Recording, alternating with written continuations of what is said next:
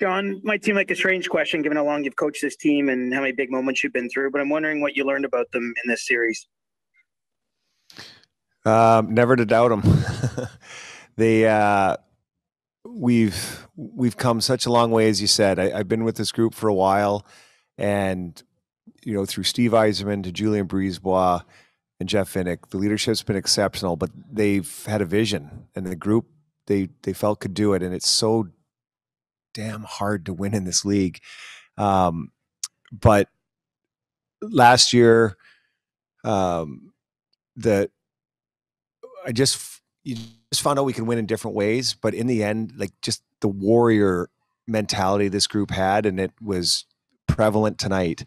And um, you know, after a, a, really tough loss the other night, um, you you just can't count them out though. And and they've just learned how to defend, and and again, another masterful performance uh, in the defensive zone to uh, to win a, a huge game seven for us.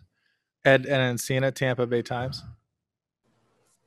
Jon, I was wondering if, just to follow up on that, you know, what, what did you think? What was special about the way you guys played in front of Vasilevskiy? Well, I don't think we had to play. We didn't play too much in our end in those first two periods, and uh, we've talked about it often. If you want to, you know, the best defense is playing offense, and we we took the risk out of our game.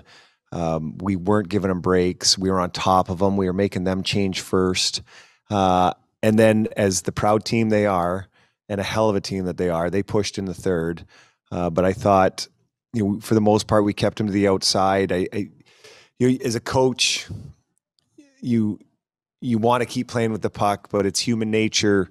Uh, they, they, we went in defend mode, and and we didn't give up. You know, we gave up some zone time. We didn't give up a ton of chances. Uh, you know, they had a couple looks at maybe a puck rolled off here, but they were uh, they went into warrior mode, and it was uh, it was fun to watch. Dan Rosen, NHL.com. Jon, you've talked a couple of times in this run about you know, do you want to be special or do you want to just you know win at one time? And tonight it looked like a team that wanted to be special. Did they? You've seen this a lot, but in this situation, coming off a loss, it takes one goal. I mean, did it even surprise you a little bit about the the the defensive, you know, the attack, all that. I mean, does, does this keep does this group surprise you at all? Well, not now, but it took a lot to get here, Dan.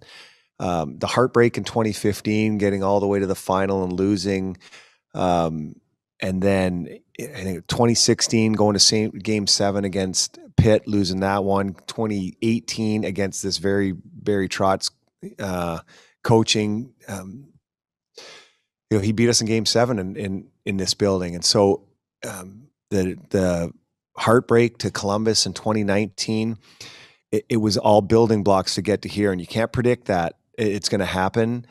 Uh, but that's why, you know, the vision of, of everybody in this organization, knowing that we could do this and, and look, we haven't, we haven't won the Stanley Cup this year. I mean, we're chasing it just like Montreal is, but to be down to the final two in back to back years. Uh, it, it's a pretty re- remarkable accomplishment, and and that's that's we talked about. It's hey, it's all well and good to one day, you know, put on your gravestone that you won a Stanley Cup, but to be to do it two years in a row, multiple times, you're talking about now your your team is special, and years down the road they say, well, that Tampa team um, during some time was was a hell of a team, and I think you can really put a stamp on that if if you win another one. Mari Faiello, Tampa Bay Times. Jon, you've said at multiple points throughout this season that hockey's for the fans. So how much, how special was it just getting to share this moment with them, especially after not having them in the bubble with you all last season? I'm going to tell you right now, I've never heard a building as loud as I did tonight in that last minute of play ever. It was uh, the guys like you you have to tug on guys jerseys just to tell them if who was going out. It was uh I thought when Gordo scored it was loud, but that last minute it was electric. And uh yeah, the fans uh fans came to play tonight as as just as our team did. Erik Erlendsson, Lightning Insider. You mentioned the 2018 game against Washington. That was Vasilevskiy's first series as a starter. And the, the growth in him from that game seven to what you've seen develop over the last two years, I mean, that's four straight series clinching shutouts for him. Just the maturation and, and kind of what he's grown in these past three years to get, get, get you to this point. Well, I've said this many times hockey's a team sport, and it takes everybody to put in the performances that have gone in, especially the defensive ones. Um, it's what makes the playoffs special. But in the end, you need the goalie to make the stops at, at times when everything else breaks down. And and Vasi is showing time and time again that he can do that. And to elevate your game and have the mental fortitude to grind through like series clinching, potential season ending games and rise to the occasion. Again, we're throwing around, around the word special, vastly special. John Romano, Tampa Bay Times. Hey, Jon, you've talked about the journey that this group has been on a few times. Could you, I mean, just how much pride do you have in this group that in 2019 was scoring four goals a game, was sort of this high flying offensive team, and has evolved into a team that can win one nothing in game seven? Well, I think it's it's uh, becoming a broken record, but I, I, tell you, it's it's not how many you put in the net; it's it's what you keep out, and it's a hard lesson to learn, especially coming like the players that are coming up today, and the skill and and the rules that get put into place to open up skill and to skate and to score.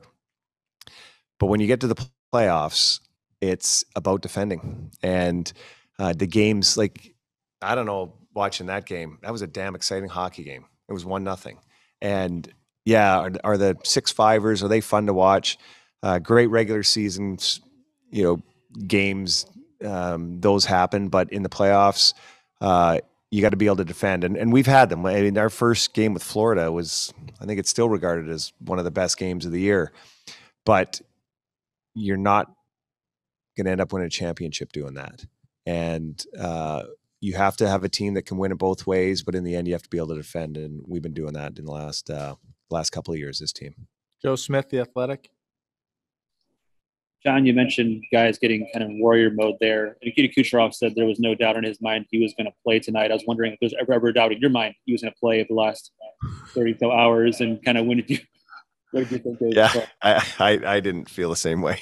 I'm glad he did. And that's all, that's the only vote that counts. Uh, but it was uh, it was dicey, and and I, I, thought that was a big push for our room because I I'm not so sure the players thought he was going to end up playing, um, especially after after the game a couple nights ago. But not only to get Cooch back, um, but to get Journey back. I thought that was a huge lift for us, and and, and clearly uh, it was a, it was good mojo for our guys. We have time for two more. Brian Compton, NHL.com. Jon, what can you say about the Islanders and how much more difficult was it to eliminate them this time around? Thank you. You, when you win a championship or get to, I shouldn't say win because we haven't won, but when you get to end up playing for a championship and hopefully eventually win, you want to say you went through the best. And I can honestly say here, like the Islanders, I mean, they're as good a team as we've played in two years. And last year in game five, you know, they beat us in overtime. Game six goes to overtime. You know, Tony scores that goal, but all of a sudden now you're you're flirting with a game seven. And this one here, we lose game one. So now we've got to, you know, beat them four out of six. Uh, and nothing was easy. Not even the, the eight nothing game. Like that didn't come easy. And things just went our way. And and then you have to go into their building and and grind out a game. And it was uh unbelievably difficult. And the proud team they are to come and push on us as they did at the end. Um, that's as close as two teams can be. And when you go to game seven, you need a all world play by Ryan McDonagh. It's it's too bad he doesn't get there's no third assist because he definitely deserved it on that goal. And just to have the patience the way those guys do and, and to score shorthanded goal to win it, it's crazy. But it's uh it they're so damn tough, so well coached, and they play so hard. It was uh, an extremely, extremely difficult series to get through. Last question, JF Chaumont, Journal de Montreal. Hi, Jon. It's still a strange year, but in the final, you- you're going to be facing a team from your own division, normally, the Canadiens. But can you imagine how special would it be for your GM, Julien Brisebois, who's coming from Quebec and he start in the NHL with, with the Avs? Yeah, that I, I think I haven't talked to him about this yet, but I'm sure he is uh, probably a little giddy about having the ability to a um, you know more more importantly go to a final, but to to play Montreal. I, I, he's um, he's a proud proud French Canadian. Uh, he loved working for the organization. There's so many things when we first started here that he brought over there and taught me about how things are run in Montreal, the class organization that they are. I've loved coaching there. It's uh, you know on the road. It's it's my favorite building to be in. It's it's a phenomenal environment, and because of the rich history that's gone on there, I, I think for for Julian, I, it'll be a really exciting time for him.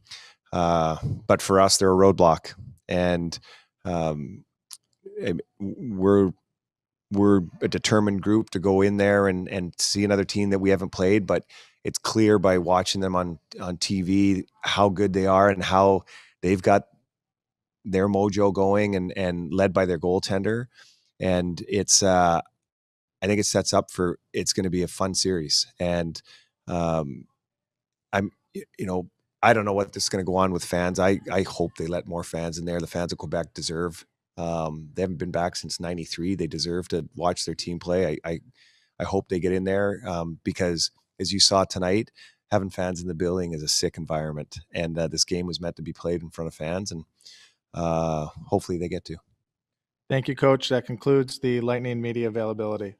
Thank you.